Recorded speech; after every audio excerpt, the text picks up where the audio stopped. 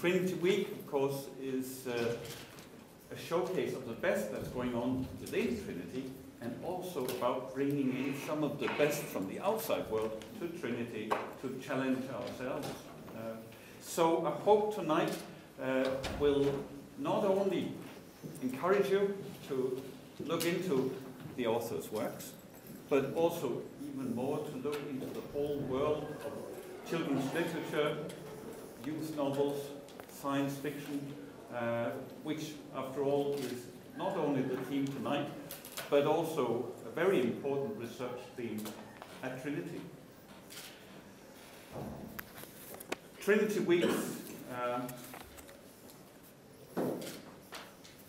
overall program this year is about ideas for the future. Ideas for the future are very much needed now. Uh, of course, they always are but uh, certainly we are all uh, we are all in this mode now where we really are looking everywhere for new inspiration, new ideas. Where should we be headed? And certainly, the ones who will actually have a chance to have a real impact on that future is the young generation.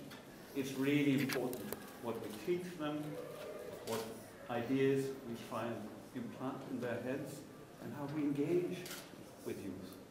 So that's very important. Therefore, I'm really proud also that uh, this is an event that we could stage in association with Children's Books Ireland uh, and uh, with the Dublin City Public Library.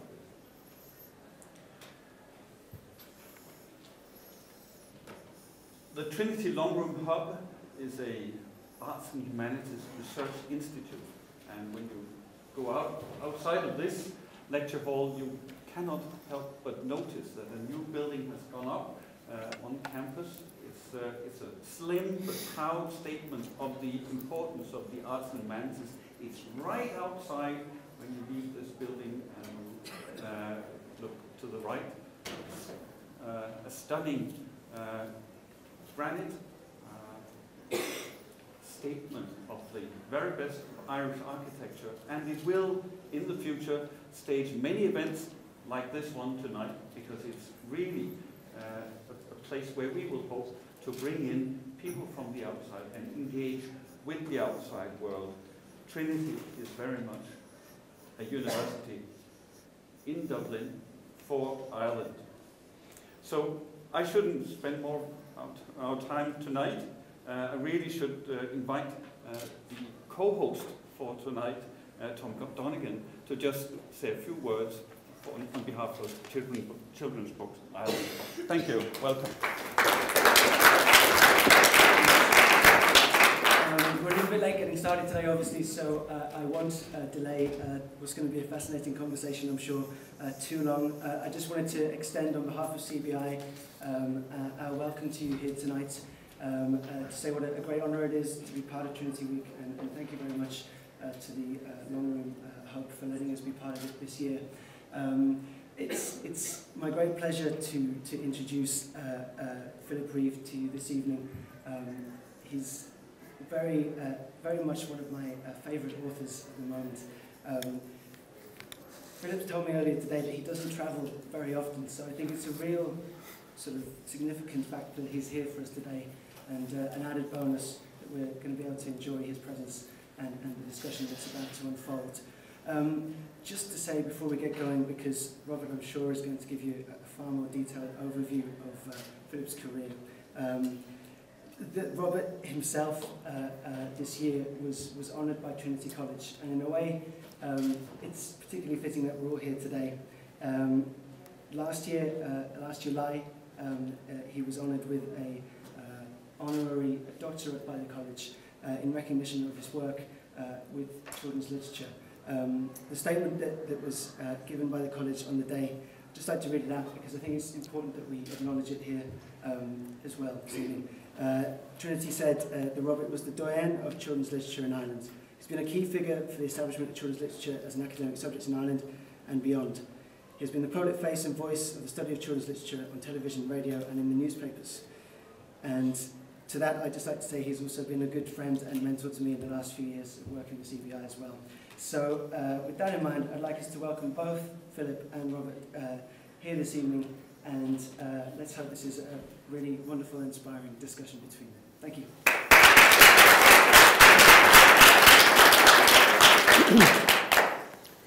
Well, thank you very much, Tom, indeed, and uh, good evening, uh, ladies and gentlemen.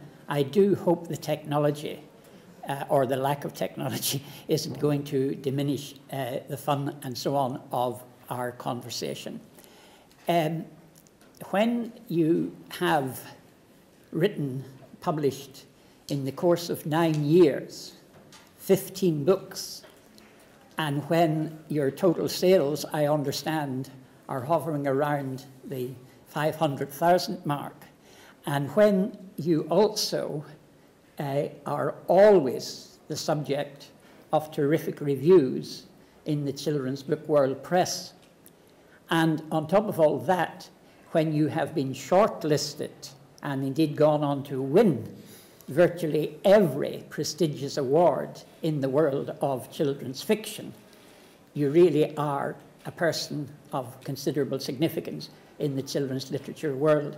Uh, Philip Reeve, our guest this evening, has won uh, so many awards that, to be honest with you, I had to write down a list of them because I knew I'd forget some of them. But among many other things, he has won the Blue Peter Book of the Year Award, he has won the Nestle Book Prize, he has won the Smarties Award, he has won the Guardian Children's Fiction Award, and of course, uh, in 2008, he has won the most prestigious, many people would say, of the lot, namely the Carnegie Medal, for what I was saying to him earlier this afternoon is my own favourite Reeve book, namely Here Lies Arthur.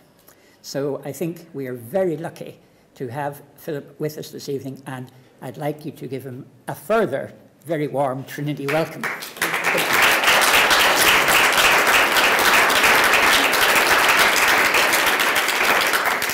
One of the aspects of Philip's work that we'll get around to, I hope, at some point later on, uh, because it's a little detail that absolutely fascinates me, is that he is a wonderful uh, facility for inventing the most wonderful names for his characters.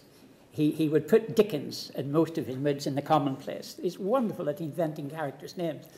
But he also uh, must have a considerable degree of prescience where this is concerned, because uh, this event is being co-hosted by Children's Books Ireland, which, as we all know, is in the hands of three very capable people indeed.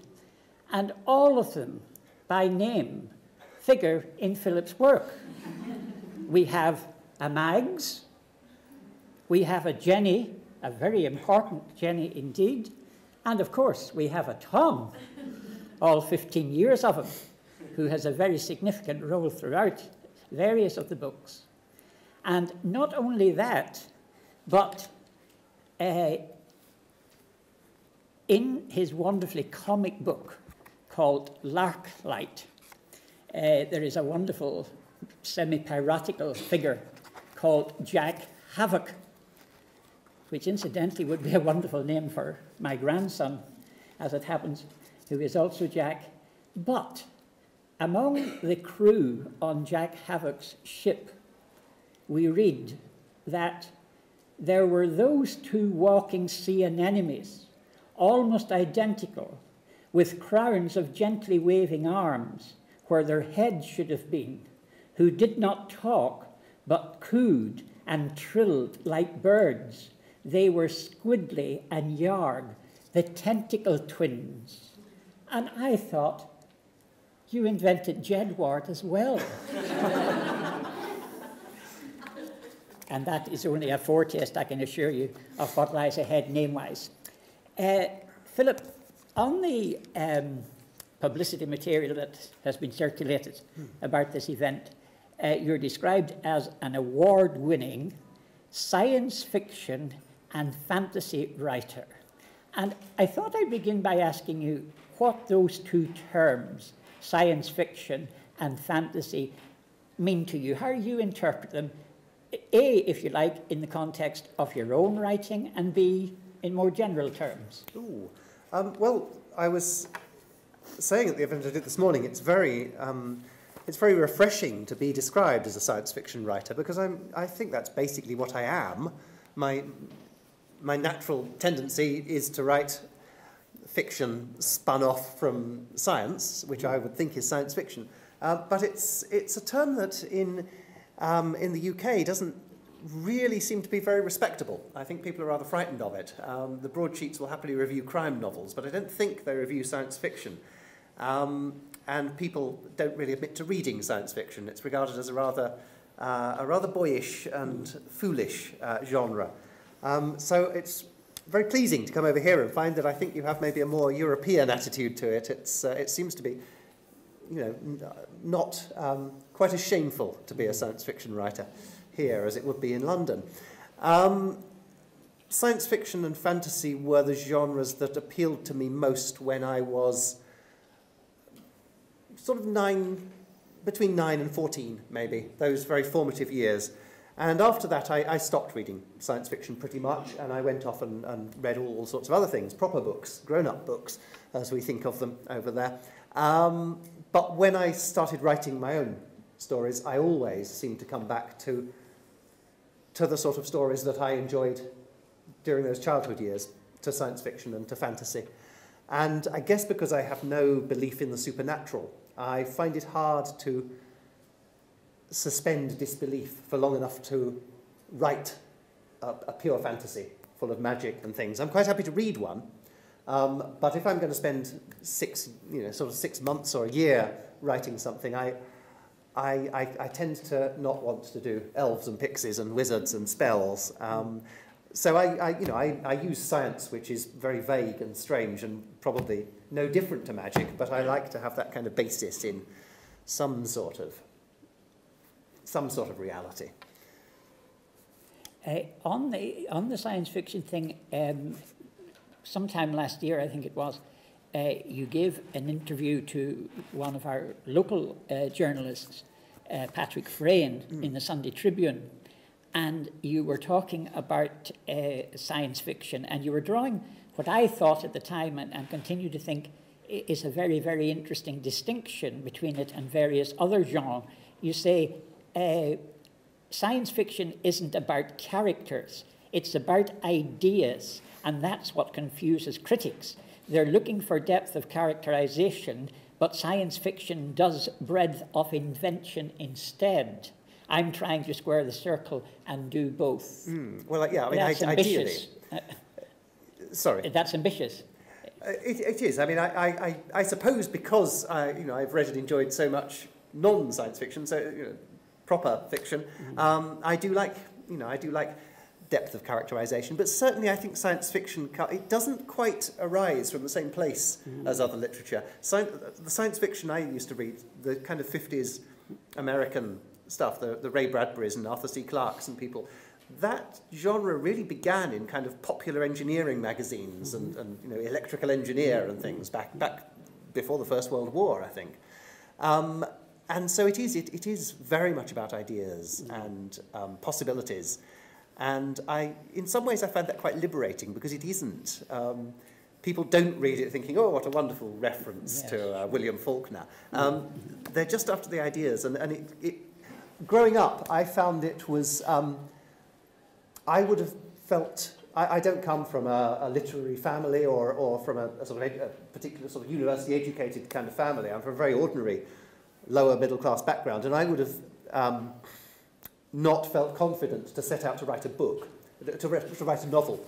But I could imagine myself writing a science fiction novel because it's a whole different thing and it's sort of sort of lower class somehow and it seemed like something I could do. And indeed the science fiction community was, th there were, um, I presume they still do, they used to hold a big uh, convention every Easter and sometimes it was at a hotel in Brighton, which is where I grew up. And you could buy a day ticket and go in and meet all these authors you'd heard of and, and authors you hadn't heard of who you would then hear talk and think, oh, he's fantastic, and go out and buy his book. And I wasn't aware of any way in which, as a, as a sort of spotty 13-year-old, I could have met the great literary figures of the time, but I could meet great science fiction writers and sit down and talk with them, um, more or less as an equal. So in a way, it was very it was very welcoming, very welcoming sort of literary community. And I think that's probably where my, where my liking for it comes from, really, my, or, or my continued liking for it. Well, uh, maybe when we later look at some of the individual books, we'll come back to some of the specific ideas mm. that you might be uh, engaging with. But you mentioned Brighton there, and you gave us one or two little biographical uh, details. Um, in the various um, bits that are added on so funnily to your uh, Larklight trio, uh, you talk about the background that you've just described. And I have to say that uh, while I'm sure there's a bit of tongue in cheek uh, going on here, uh, Brighton doesn't come out of things terribly well. Uh, you refer to it at one point as the bustling seaside slum, and you refer to it another as that vile town.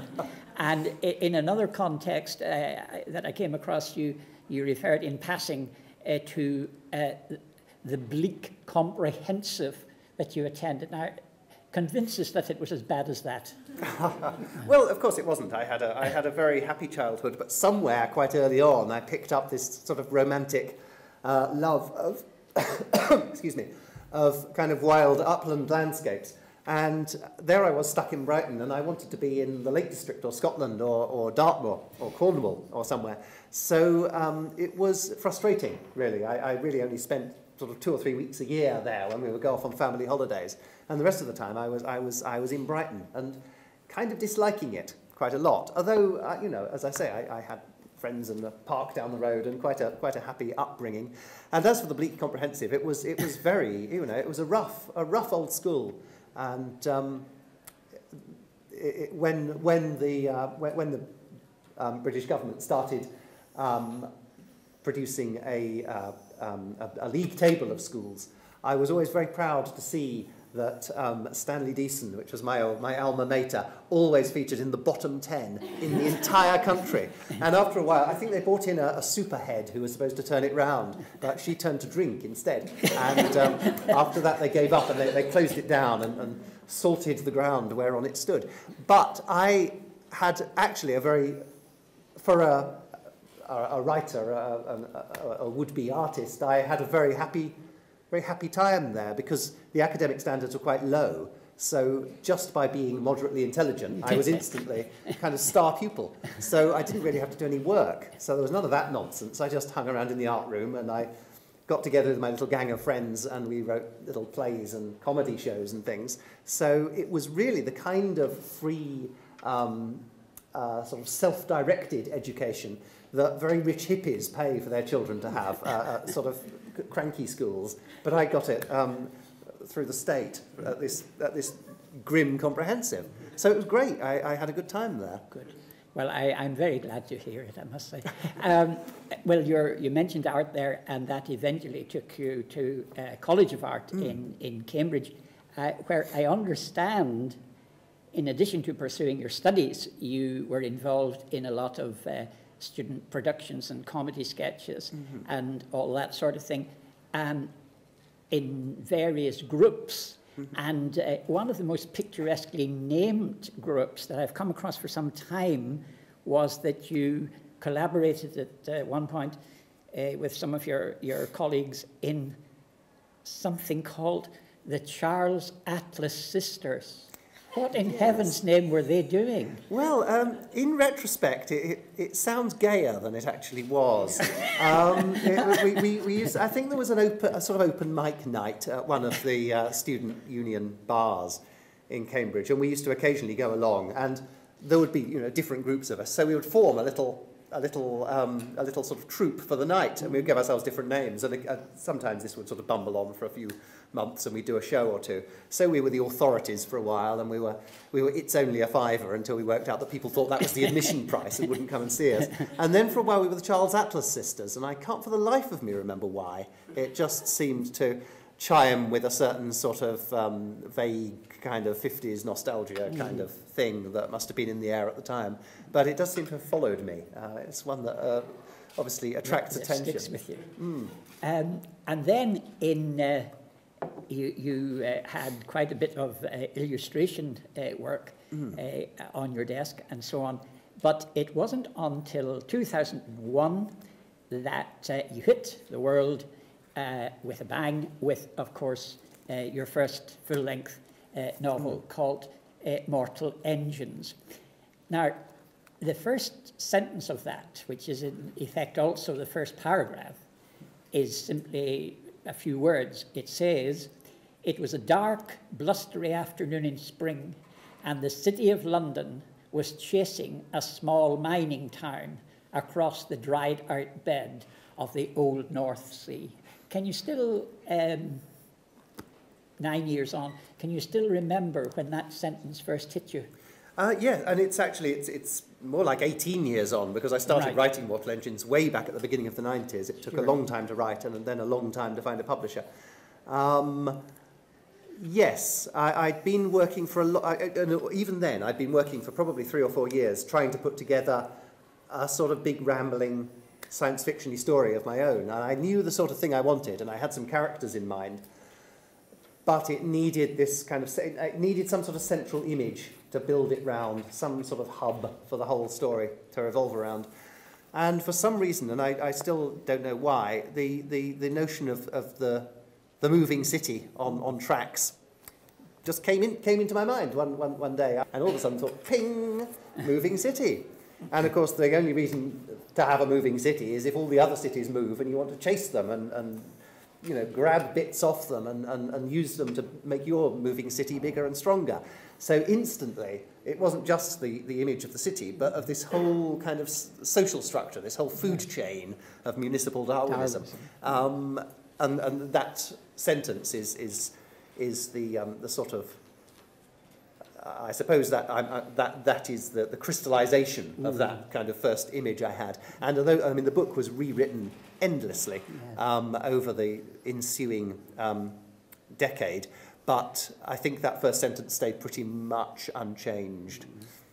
Uh, I think that uh, anyone in the audience who uh, sees him or herself as a children's writer, and we always have, have some in an audience like this, uh, should I think take some consolation from the fact that I understand this book went through 25 drafts. Is that literally correct? I'm, I'm sure it was at least that many. I mean, I, um, I may have plucked the figure 25 out of the air in some mm. interview. I can't quite remember. I, I, you know, I wasn't keeping a tally, but I write in a very un, unstructured, unprofessional way, I guess. I don't really plan ahead. I don't know where I'm going. I just start writing, and, and I keep going until it all goes wrong, or I'm, I find the story isn't turning out as I hoped, and then I throw it away and I start again, uh, retaining the good bits.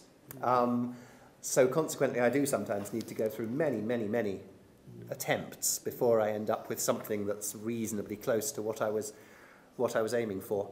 Or something that's nothing like what I was aiming for, but which is, which is quite good anyway, hopefully. Um, I yes. always think uh, uh, on an occasion like this, it's, it's quite tricky talking about these books in one particular sense. Uh, you don't want, in any sense, to spoil mm. the story for anyone who hasn't yet met the books.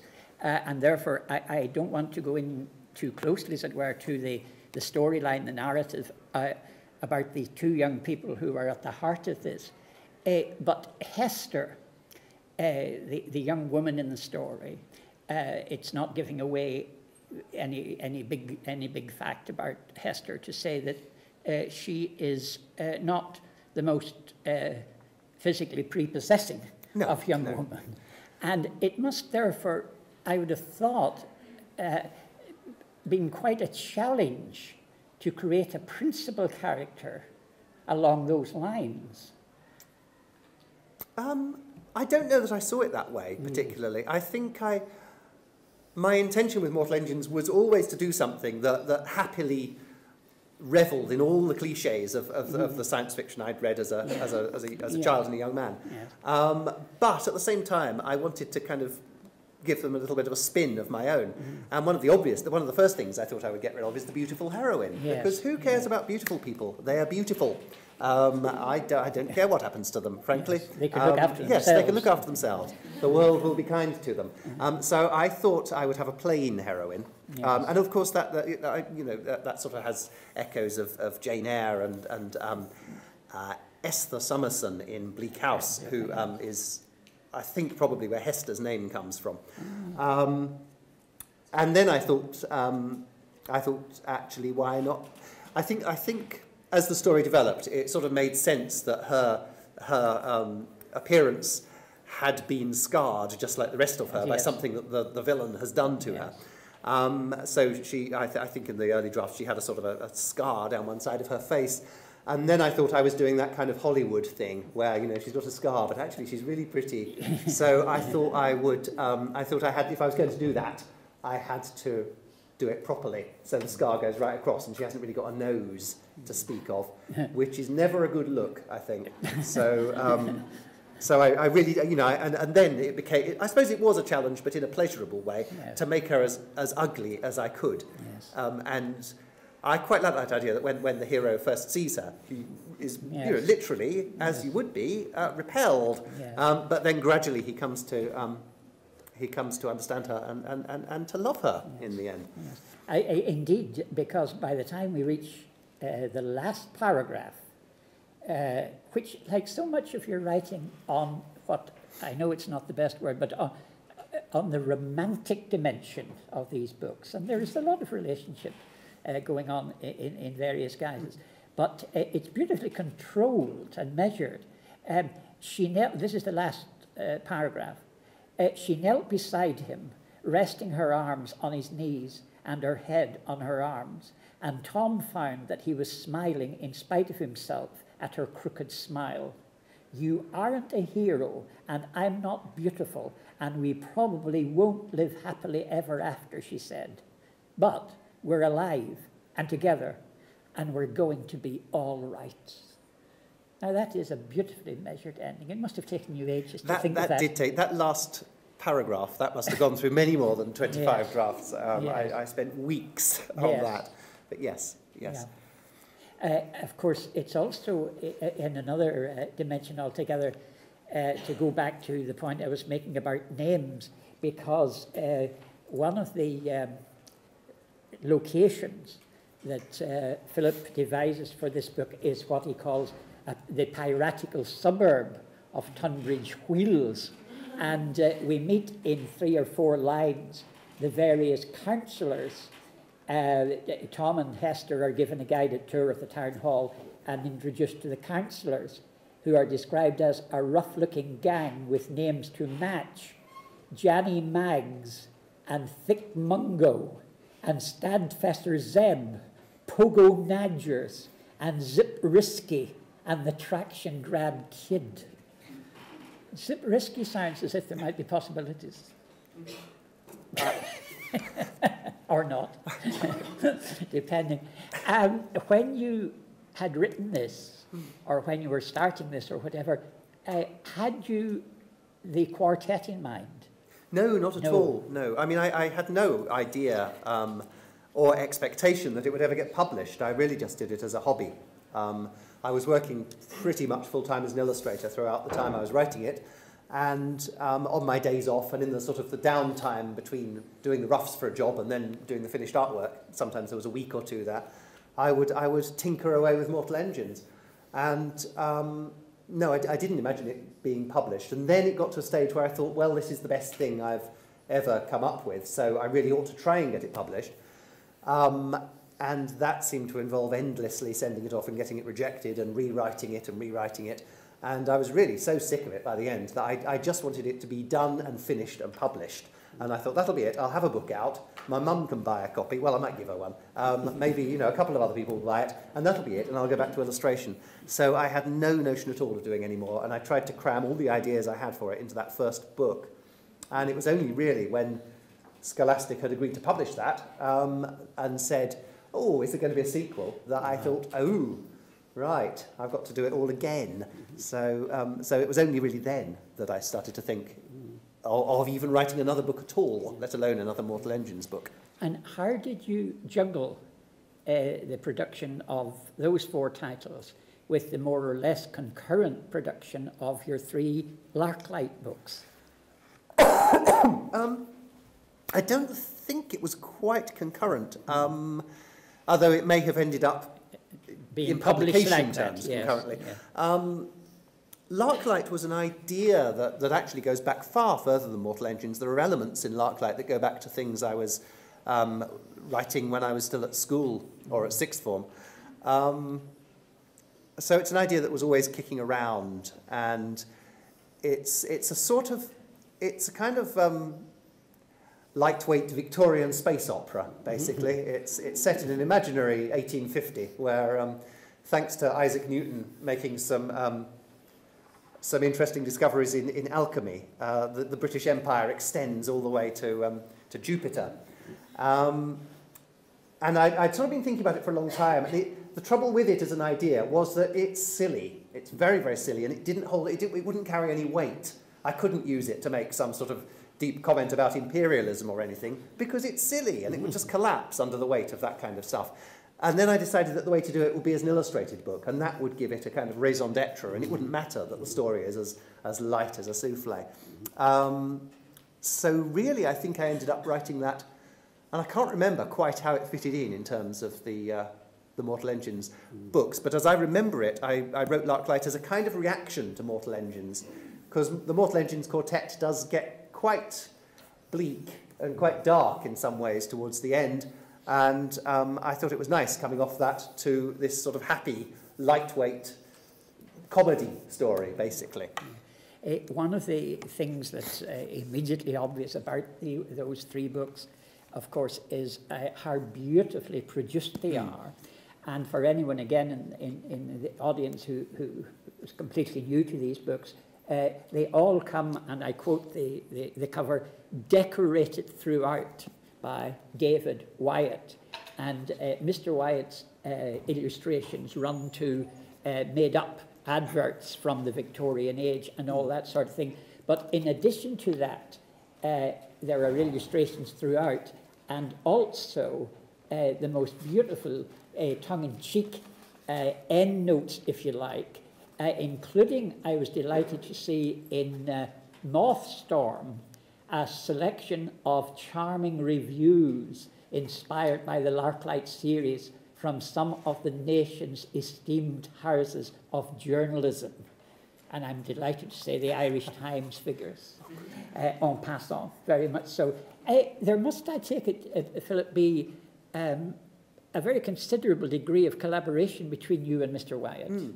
Um, oddly enough, to start with, um, no, because uh, I, didn't, I didn't know David when I, when I started writing this. Though my idea for it was always that it would be illustrated mm. and it would have these sort of fake Victorian adverts in the front.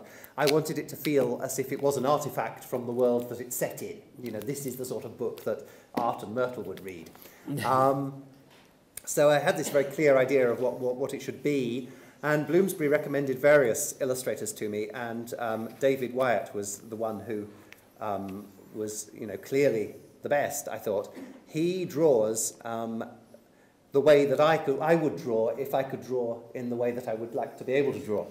Um, so, and, and he does it very, very quickly. And he seems to have this knack of he'll, he'll, he'll draw something that I describe, and I don't have to give him any direction at all. He just does it, and there it is. The thing has kind of come out of my imagination onto a sheet of paper. Um, and if it doesn't look exactly as I imagined it, um, it looks better. And then I can change the text to, to include anything that he's added. Um, so the first one, I suppose he did pretty much as a, as a straight illustration job. He was handed the text and he, he, he just got to work on it. But it turned out that he actually lives quite close to me in Chagford up on the, the north end of Dartmoor, um, which is a sort of illustrator's enclave they've got up there. And um, And so on the second and third, it was, it was quite easy for us to meet up and, and plan things. And David's ideas started to become quite important. He would, he would sit, a, sit at home in the evening sketching strange people and places, and, uh, and I would look through his sketchbooks later and think, oh yes, we'll have him and him and him, and I'd write them into the story. So it became actually quite a serious collaboration, and I would have liked it, it very much. I mean, it's nice that it says decorated throughout by David Wyatt, but I, I think by the time we get to Mothstorm, what it should really say is by Philip Reeve and David Wyatt. Uh, we're going to leave uh, Fever Crumb and your new book, A Web of Air, mm. uh, for a moment or so, uh, because I want to move on to your Carnegie uh, winner, uh, Here Lies Arthur. And uh, I remember uh, a review in Books for Keeps by Jeff Fox, uh, which ended with uh, the, the, the summary, summarizing sentence, an Arthur for our time. Mm. And I wondered, A, if you agreed with that, and B, if you had set out very deliberately to create, quote, an Arthur for our time. Um, well, I, I, suppose all Arthurs are, are an Arthur for our time, and when you know when Malory wrote his mm. um, um, Morte d'Arthur, it was an Arthur for his time. Um, I I didn't specifically set out to do that. I set out to do an Arthur that wasn't quite like all the other hundreds and hundreds of versions of King Arthur there are around. It was, a, it was something I very much wanted to do um, because I'd been pretty much obsessed by the Arthurian legend when I was at college. Um, so I had this great sort of bed of knowledge about it, and I felt I ought to use that, and I, I, I really wanted to. Um, but there are so many other versions of it that it was, it was, um, it was difficult to know where to start. So um, what I tried to do was um, was to do a sort of a historical Arthur, to set him in the time where he existed, if he existed at all, which would have been post-Roman Britain, this sort of collapsing former Roman province being invaded by the Saxons and the Irish and the Scots, um, and, and all you know breaking up into little warring factions and, and minor kingdoms, petty kingdoms. And um, certainly Arthur has, Mary Stewart and, and Rosemary Sutcliff have, have both, I think, set Arthur stories in, in that sort of environment. But as far as I'm aware, they've always shown Arthur as quite an impressive figure. Um, even if he was in, in this quite barbaric background, he's always been a great leader, at least. Um, and I thought it might be interesting if he wasn't a great leader at all, if he was, if he was Tony Soprano, basically. Only not even that good. He's a, he's a sort of minor gangster. Um, he's, he's somehow got command of a little unit of, of Roman heavy cavalry left over from some British army. And, um, and, and he rides around the, uh, the West Country, um, beating people up and burning down villages and demanding protection money, basically, demanding taxes and, and making a little, a little tiny little squalid kingdom for himself, and which, which I imagine a great many warlords and, and, and people were doing at that time.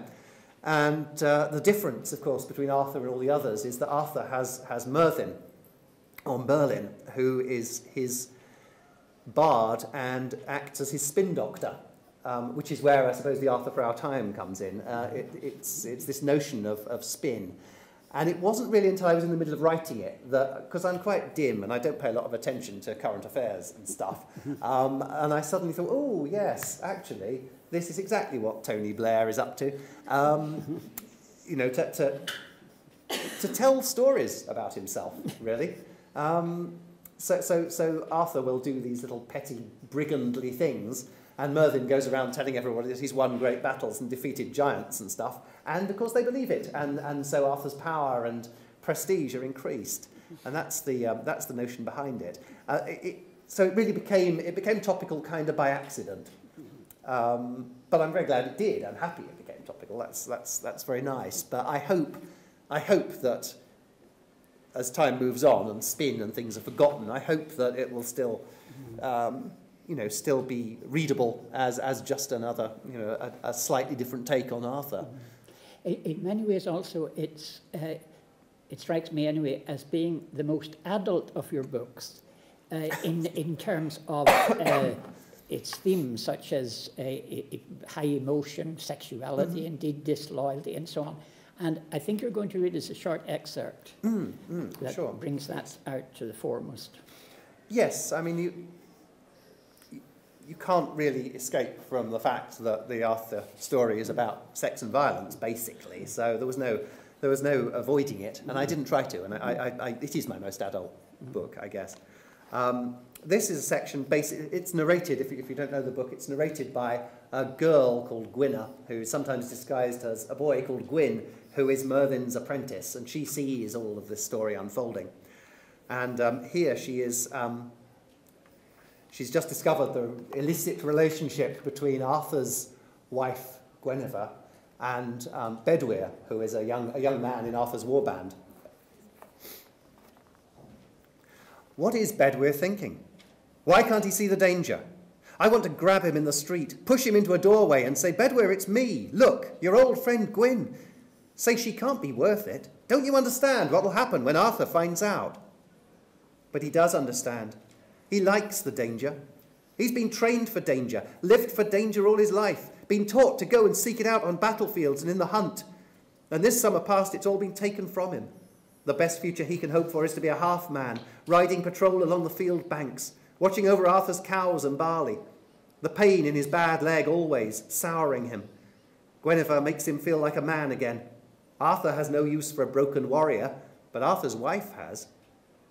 Each morning, when he goes out to see the horses in their stable behind his brother's house, he looks across the smoky slope of the town to her roof and thinks of her asleep beneath it. The hope of meeting her is what pulls him through each day. Sometimes, if she's going out into the meadows or to visit some friend who lives outside the walls, she sends for him. And he puts on his red cloak and rides out as her bodyguard. And there is something thrilling about being so near her and not being able to touch her or say more than the idle pleasantries that are expected between a young warrior and the wife of his lord. He can't even catch her eye, for fear her maidens will notice some glance, some glint. He does his duty in a daze, like a sleepwalker, knowing that when the twilight comes, he'll slip away to meet her at the baths, and they'll say all the things they couldn't say by day. Let's face it, he's in love like a hero out of one of those stories Myrddin tells in the feast hall. He is in love with her hands, with her slender fingers and the creases of her knuckles. He is in love with the faint hair on her upper lip, which he can feel but barely see. He is in love with the downy hollow of the small of her back, with the hard jut of her shoulder blades, like the stubs of wings. He is in love with her eyelids. He is in love with her voice. He is in love with her kindness.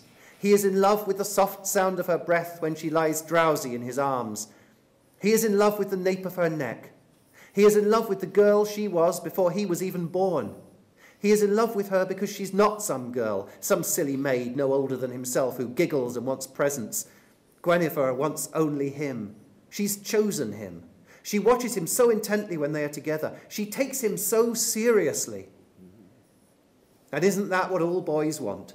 And all men too just to be taken seriously.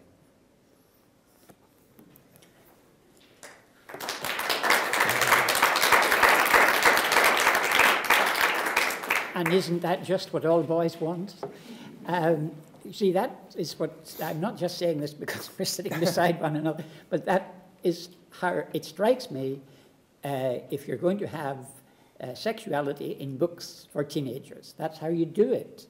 It's about subtlety, it's about suggestion, and of course, it's about terribly, terribly uh, carefully chosen uh, language. Uh, to return then to the um, Mortal Engines and, and the two prequels mm. that have followed it, namely Fever Crumb and your new book, A Web of Air. At what stage uh, in uh, process, uh, Philip, did the idea of let's have a prequel appear to you? Well, um, I'm not quite sure when it, when it, when it arrived. It was, um, when I finished Darkling Plain, which is the, the last of the quartet, I thought I was done. I thought I was finished. I thought the story had pretty much, um, all the loose ends had pretty much been tied up, and I wanted to move on and do different things, and I, I did. I did Lies Arthur and Larklight and things. Um, but the world of Mortal Engines is it's sort of my world. It's the, it, it, it, I created it over a very long period, and it's got all the things I like in it. And if I wanted to keep on writing about all those things that I like, th those particular sorts of names and things, I, I thought I had to really return to that world, or otherwise create a different world that would just be a kind of pale imitation of Mortal Engines. So, um, so I thought the thing to do would be to leave the original story where it was, that's complete and finished, but I thought if I moved back to a much earlier era of the same world, um, there would be new stories to be told, and new, not just new stories, but um, new issues to explore. It's about different things, the, the, the Fever Crumb, the, the, the developing Fever Crumb sequence. It's got different concerns to the, to the original books. And, um, and I hope they feel I hope they feel quite different. I, I, I wasn't planning to try and recreate Mortal Engines. You're not going to meet any of the same, well, one of the same characters, but it's set so far before the original books that, that there's not going to be any crossover in the characters. It's not going to be like sort of Star Wars, where the prequels eventually butt up to the, the beginning of the original first story. It's, um, it's, a, it's kind of its own thing, I hope. But it's those two books that, uh, more than the quartet, the Mortal Engines quartet, that strike me, that strike me at least, as being more engaged with what you were talking about some time ago, namely the interest in engaging with ideas. Because some of the ideas, especially in the new book, A Web of Air, really are uh, quite complex. And I think uh, the main reason for that is that in this young, she's 14, I think, 14 uh, year old woman, Fever, uh, she herself is a very, very complex young woman. And a part of the reason for this is that it seems to me, especially again in book two, in A Web of Air, uh, she is subject to all sorts of uh, struggles within herself about this, this uh, contrast between, if you like, the traditional and the nonconformist, uh, between the fact that she has been brought up by the engineers people to be rational, and yet there is a whole irrational world out there. Mm. And it, that irrational world out there is, I think, uh, beautifully handled in A Web of Air uh, by the inclusion at the beginning, and then later on it comes back of this uh, travelling theatrical group. And Dickens seems to have figured once or twice in our conversation, but what it reminded me of very much in its effect, I mean, is the role of Sleary Circus in hard times, where for these people, you know, who have been brought up to look at the world in a certain way, this represents uh, a tremendous release. But uh, in A Web of Air, uh, on the question of ideas, uh, there really is, there are many challenging sentences and full of ideas, but towards the end, um, Fever, who I should explain is a foundling, so has also the, I, the, the business, the difficulty of finding her parents eventually, as well as the, the, the town story, the archaeological story, if you like. Uh, but Fever eventually meets up with uh, her mother, and um, the mother says, uh, if you really, uh, Fever says, uh, uh, the mother says to her, I beg your pardon, you're one of us, now be sensible.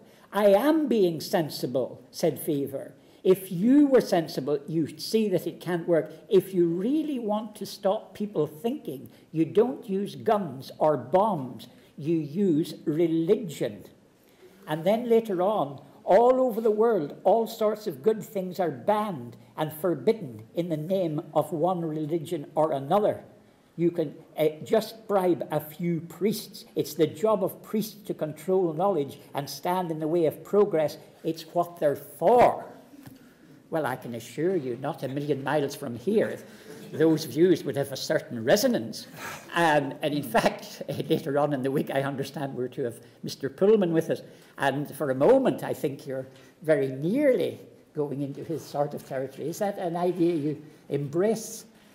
Well, I, um, I, I think it's very important in any sort of fiction and perhaps particularly in children's fiction, not to preach. Mm -hmm. I don't I don't write books to put my ideas mm -hmm. uh, of, of that, in that sense across my political views or religious views or anything. I, I, I really don't want to.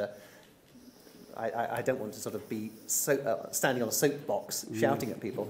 Um, that seemed to me to be how fever would feel. And I think there is, you know, I think there is a certain amount of truth in what she says. I, mm. I don't have a great problem with it. Mm. Um, I, I wouldn't, I wouldn't go that far myself. Mm. Um, but Fever would, I mm. think, being she's been brought up to be completely rational. She wants empirical evidence for things. Mm. when she meets people who believe um, in in God or or whatever, or in things that have no apparent evidence, um, she's baffled and disgusted by them. Yes. And she sees them as the enemy of all she stands for. Um, you know, I have, I have equally, in, in, in, in earlier in, in the Mortal Engines Quartet, I've had characters who, um, who were quite religious and had mm. religious beliefs and, and gained strength and courage from them. So, um, you know, I, I hope um, I hope that if you take the series as a whole, mm. it sort of balances out. Um, Does that answer the question? Oh, it Because I does. sort of slightly wandered, I feel. Yeah. Well, on that topic in Ireland, of course, Mm. we all wonder that. Right, It okay. explains why we're in the mess we're in.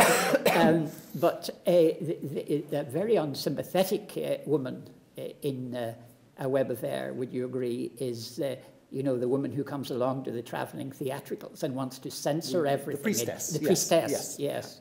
Hmm. Um, You, you want her out of the way fairly quickly.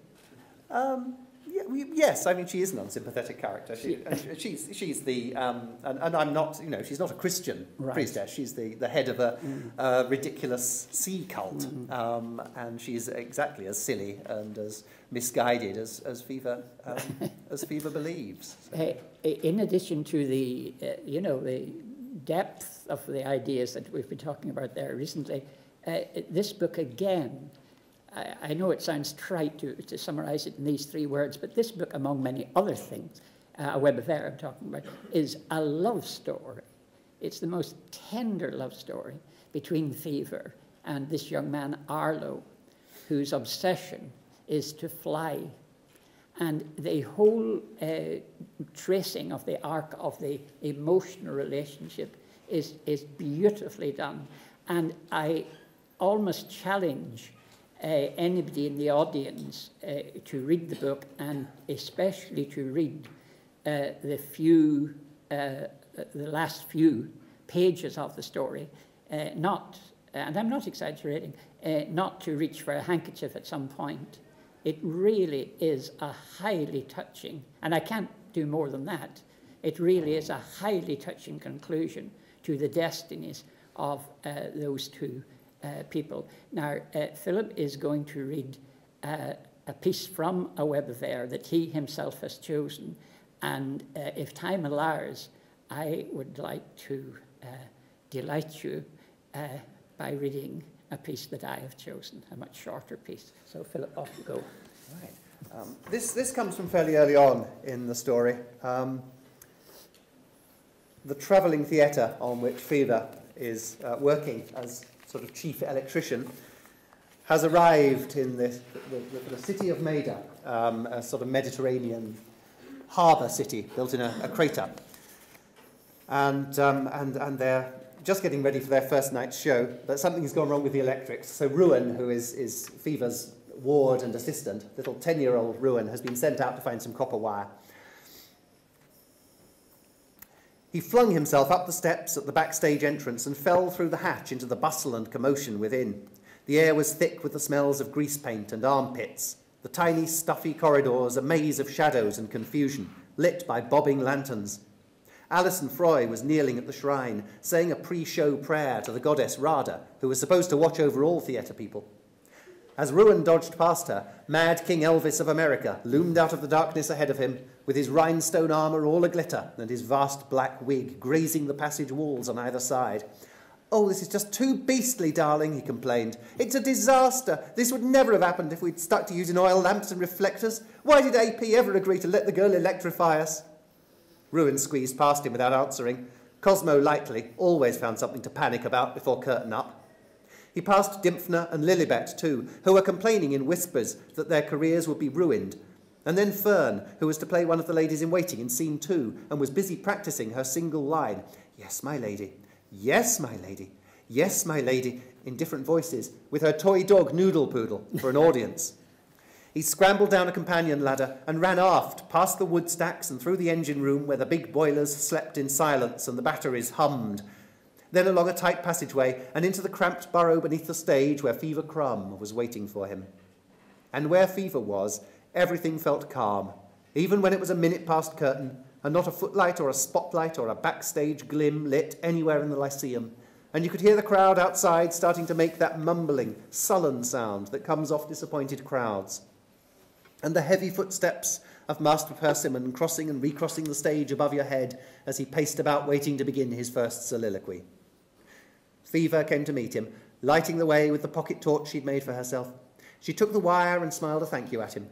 She was fairly new to smiling, having been brought up among engineers who did not approve of it. And she wasn't really very good at it. She kept her lips tightly closed and her mouth went down at one end and up at the other. Some people might not have recognised it as a smile at all, but Ruin knew what it meant.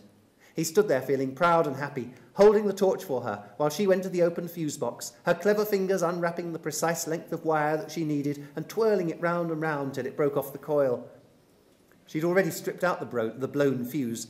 She wrapped the wire round this terminal, then round that, making a bridge for the electric particles to swarm across, while Ruin watched her.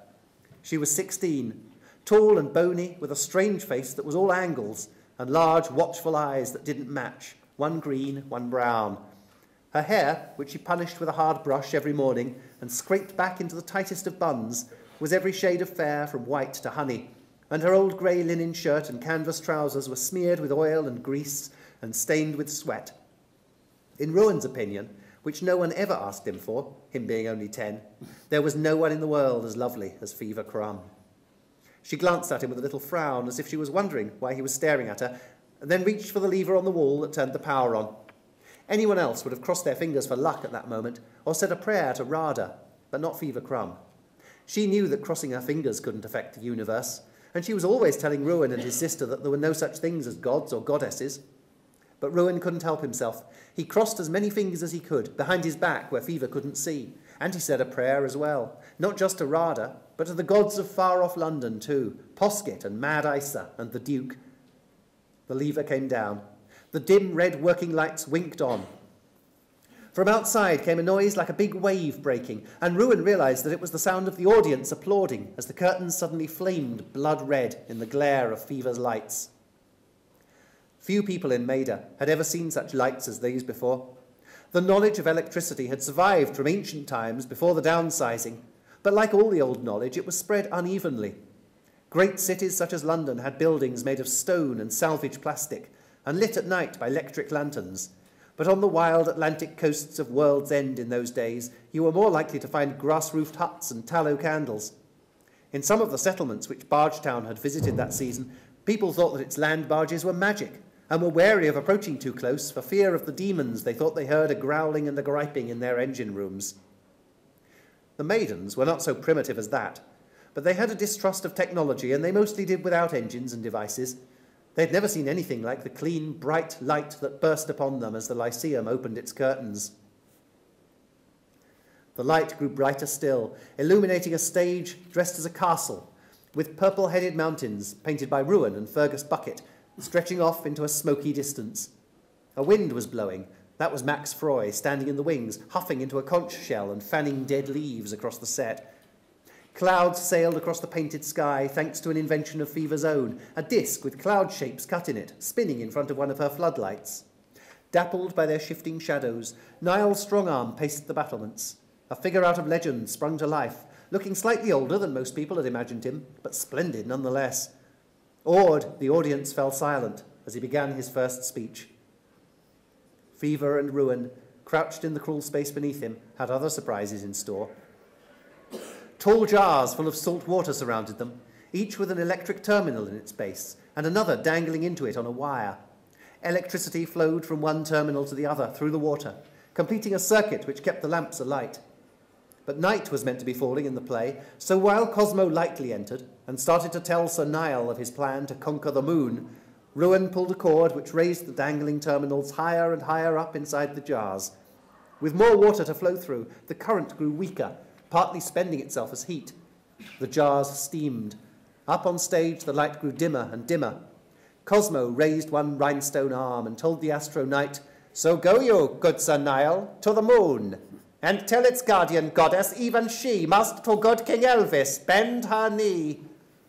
Then Fever flipped a switch that turned on a masked spotlight and threw a perfect crescent moon onto the sky above the cardboard, cardboard parapets.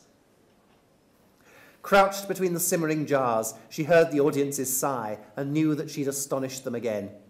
That pleased her. Unlike Ruin, she'd never fallen for the magic of the theatre and still thought that plays were so much silly nonsense but she hoped that maybe there would be someone out there in that crowd who would be more moved by the brilliance of her lights than by the silly love story unfolding under them, and would look into electricity for themselves, and come to see how simple it was, really, to generate and harness. Then she would have played a small part in restoring science and reason to this backward portion of the world.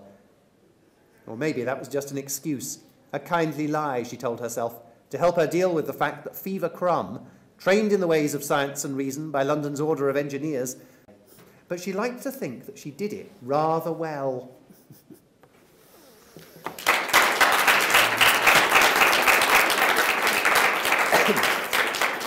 Well, as you will have gathered, uh, one little detail from that uh, that Philip has just read, uh, Fever uh, wears her hair uh, scraped back into a bun, and a very tight bun as well.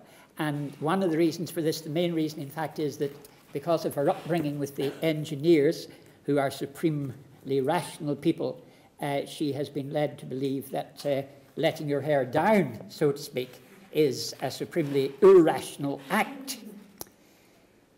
But she meets Arlo, and Arlo sees the world and sees hair through slightly different eyes. He said, You never unfasten your hair. What?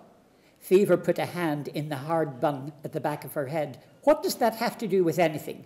She wondered if he was thinking of using her hair as some sort of pennant so that he could gauge the speed and direction of the wind. Surely his own was long enough.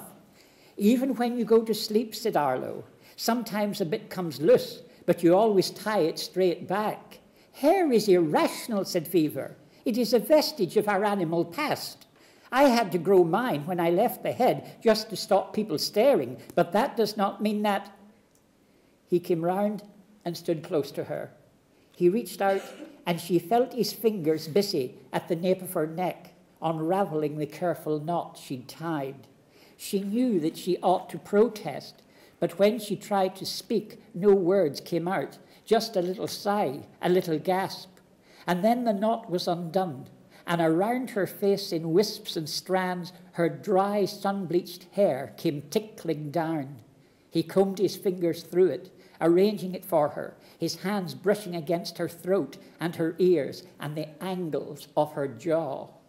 I do not approve, she started to say, but she could not remember what it was that she did not approve of. She touched his face, tracing all the beautiful patterns of his freckles, thinking, This is not rational. I am forgetting myself. But might it not be pleasant to forget oneself for a little while? Might it not be pleasant to give in to these fierce and hungry feelings? The smells of Arlo's body flowered in her mind as sprays of nameless colour. She supposed that she was falling in love. That was what Dimphna or Lilibet would call it. And although she knew it must just be a matter of chemicals and instincts, it still felt wonderful and frightening and strange. She leaned towards Arlo until their faces touched, I am supposed to kiss him now, she thought, thinking of all the love scenes he had watched through her periscope from her lair under the Lyceum stage. I wonder how kissing works. And that, I, I mean, that, I don't know how many lines that is, but two phrases sun bleached hair, her sun bleached hair came tickling down, tickling down. Think of the work that must go into choosing a verb such as that, if, if a verb is what it is. Uh, your uh, last book, but one, uh, Philip, uh, a very different sort of book altogether, really, I would say. Uh, no such things as dragons. And you referred earlier in talking, I think, about Arthur, uh, to, you know, truth-telling and fiction and the purpose of story. this would seem to me to be a fable uh, very much dealing with those topics. When are you telling the truth? When are you telling lies, etc.? I suppose, yes. I mean, it has got some things in common with, with Arthur, not least the sort of medieval, mm. legendary um, element. Um, I think I, I, try to, I try to alternate books, ideally, because I think there's a danger in writing series titles, that you get sort of locked into it, and you're always writing a book whose beginning was in another book and whose end will be in a further book. Um, so I like to try and do a standalone one um, between Fever adventures. Um, and no such thing as dragons was one of those. And it's basically, well, I, you know, I'm glad it reads as a fable, but I'm afraid to me it was just a big silly action movie. Um, it's about a it's about a fake medieval dragon slayer who goes around the Alps in um, or some range of high mountains at some distant time in the past when everybody believed there were dragons up there and he, um, he makes a living by, um, by promising the people of the mountains that he's brave enough and he can go up this mountain and he can slaughter their dragon for them. Um, but of course, this being one of my books, he inevitably goes up a mountain where there actually is a dragon of some or some sort of um, nasty large beast. It's a kind of a it seems to be a, a dinosaur that survived rather too long and is, is still up there on the mountain and wants to eat him and his young assistant. So it, it, uh, at that point it turns into sort of Jaws up a mountain, basically. um, but apparently it's a fable, so that's great. Oh, it's a fable.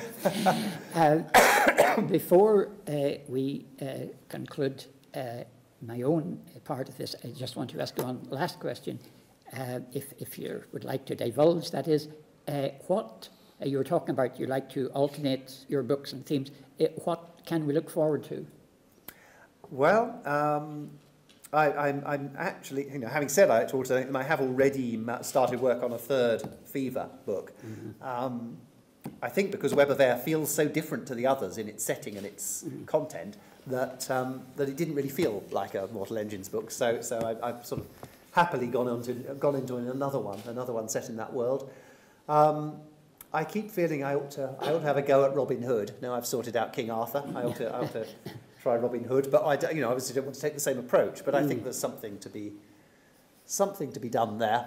Um, Robin Hood is he tends in, in modern retellings to be presented as a sort of um, a sort of early socialist to kind of up the workers um, person, redistributing wealth. But actually, if you look at the original stories, he's a, he's a very conservative figure. Mm-hmm. He's a, a right-wing figure, um, uh, uh, running off into the liberties of the Greenwood to escape from the uh, escape from the, the government of the day and the taxes and things. So I thought that might be quite interesting, a right-wing Robin Hood. Um, so that might happen one day. And I have various other ideas that sit around. I, I, I have an idea about um, early Hollywood, which never seems to it never seems to get beyond a couple of sort of basic images. Mm. I, I think there, I think there was a nice story to be told in um, in the very very early days of, of silent movie making, but I suspect it probably needs Geraldine McCaughrean to tell it rather than me. So I don't know whether that'll get off the ground or not. Um, I hope Fever will keep going and her various little chums for quite yes. some time. I think Mortal Engines is, it's getting to a point now, I think in the next book, we'll see London start moving and mm. it'll sort of be linked in that sense to the rest of the sequence. Um, and after once that's happened, then I think I'm free to go off and explore all sorts of corners of the world that I haven't touched yet. So at that point, Mortal Engines will change and I'll be able to do all kinds of different things in it. So I'm quite looking forward to that and so are we, I am sure. Um, we have time for perhaps a couple or three questions from the audience, if anyone would like to raise something. Yes?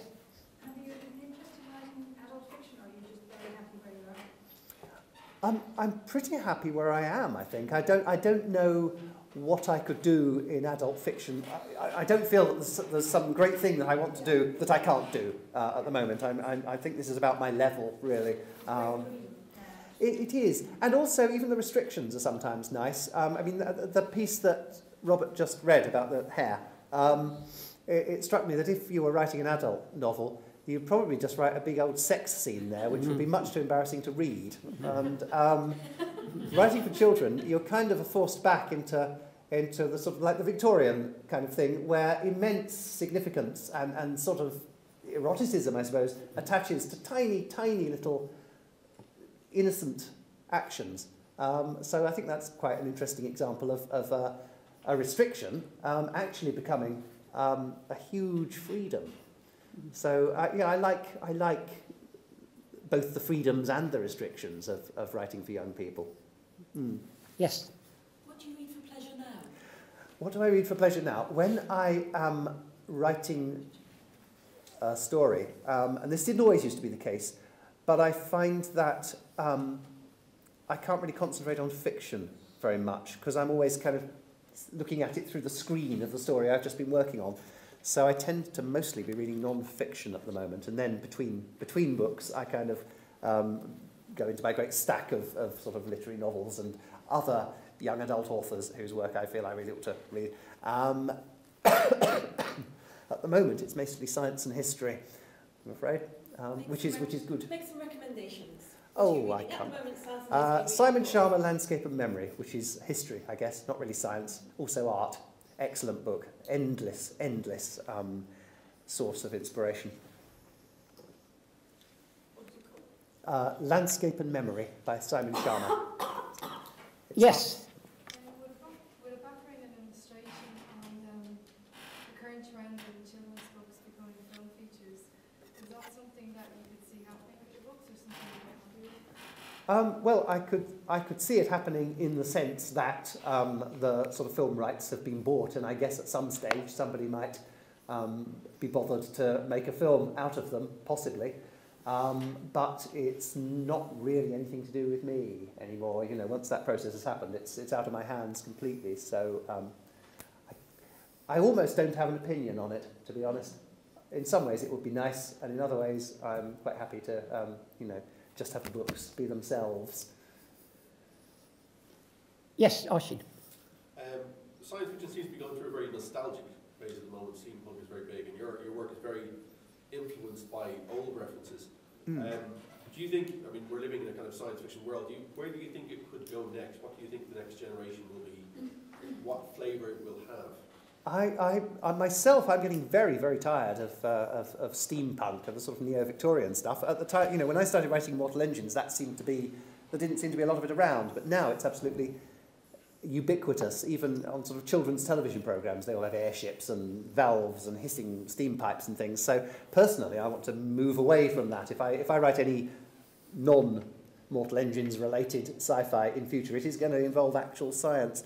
I think the problem is, and, uh, and this is just a personal theory, but I think most of the people writing um, uh, science fiction these days are probably arts graduates who know nothing about science and and they can't understand. You know, I, you know, I'm, I'm hugely guilty of this. I cannot understand the, the science of today. Um, so I look back with nostalgia to the science of the 19th century, which, you know, if you look at the machines for long enough, you can work out what they're doing.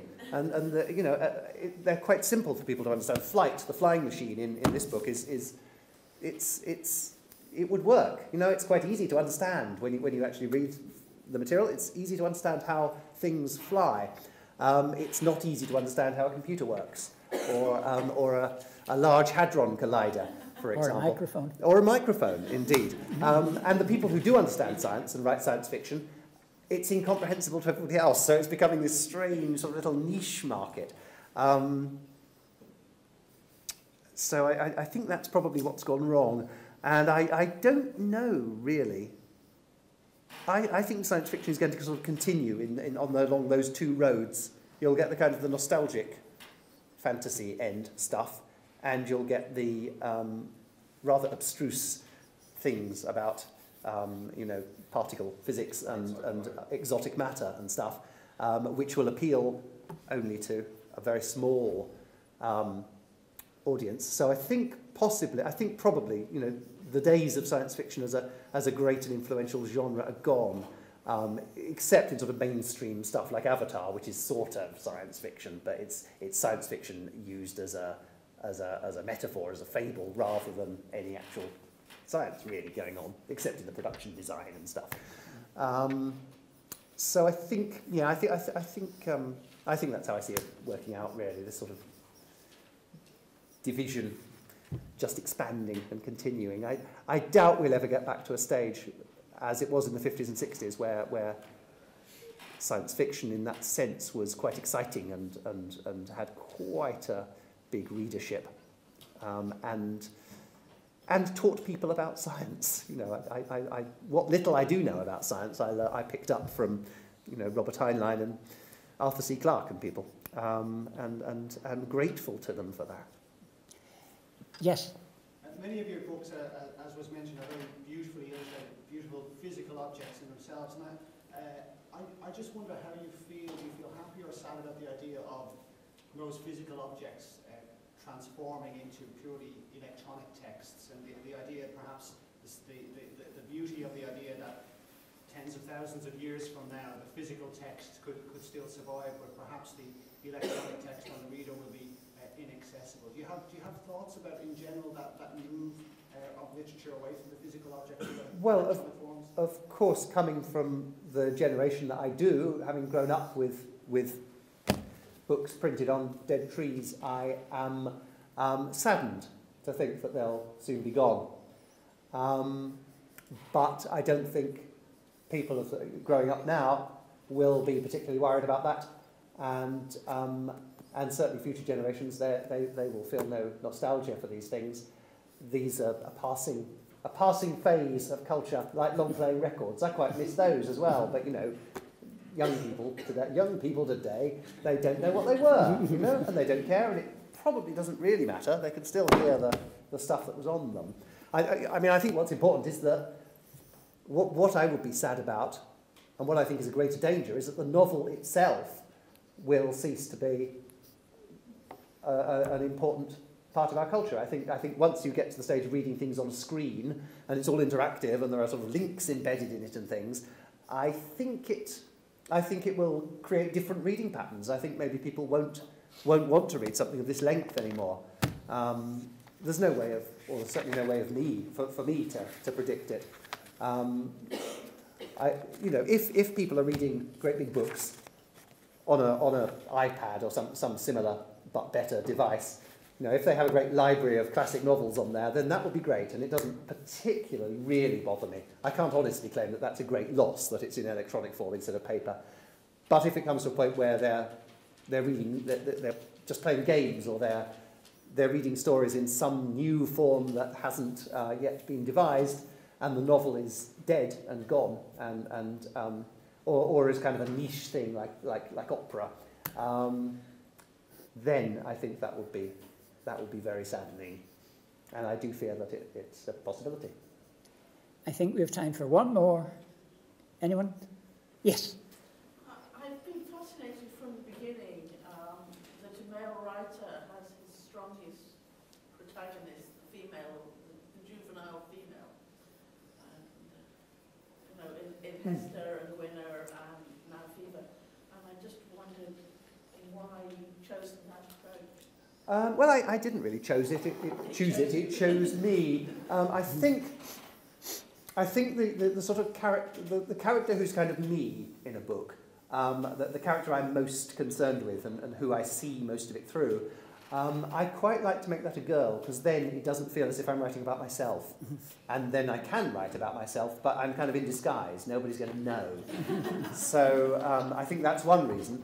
And the other, I mean, um, I think um, I, I, I think girls are stronger than boys. That, that maybe, maybe that's because I'm male, but I have that opinion, and it may be completely wrong, but I, I you know, that's my feeling. Um, I think that's probably all I can all I can say about about about that. Really, it's it's not a it hasn't been a deliberate choice. It's been an accident. And when I when I wrote Larklight, kind of trying to do what I had, you know, do the opposite of Mortal Engines, I I, I did put in a sort of a, a weak and weedy, flimsy, screamy sort of a girl. Um, But in her own strange way, she kind of becomes very strong as well, and um, and rather domineering in her in her helpless helpless way. So uh, it does seem to keep happening. I'm, I don't know why. Well, yes. I was just going to ask, do you ever um, do before you go to publish it, do a read around, say, with a bunch of teenagers or not? No, no, never. You don't actually try it out on a live audience. Yeah. No, no. No, um, I, I, um, it, um, I may be going wildly off message, but I don't actually care what they think. um, I, um, I, uh, I think the great thing about a novel that makes it better than the, you know, a better experience to create a novel than, than making a film or something is that it is the work of one person. Um, really, I mean, you know, I, I show it to my editors, and they'll sort of point out things that don't quite make sense, or, or you know, the spelling mistakes and stuff.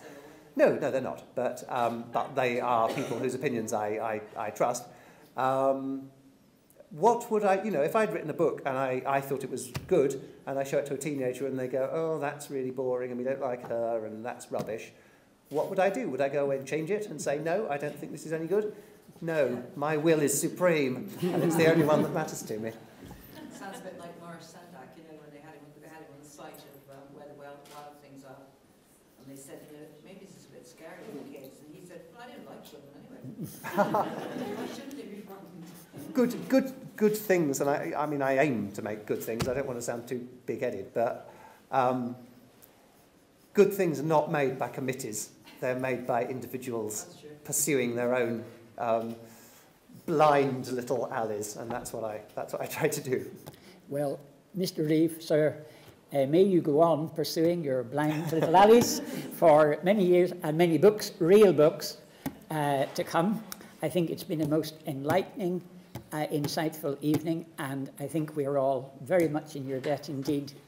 And uh, before we show our appreciation for your being here and for your engaging in this, uh, right at the very end of a web of air, uh, literally the last sentence, uh, when uh, Fever and Arlo do their different things, we read about Fever. There was nowhere for her to go now except home. And that applies to all of us and all of you. And thank you very much indeed for coming along. Thank you. Thank you. Thank you very much. So,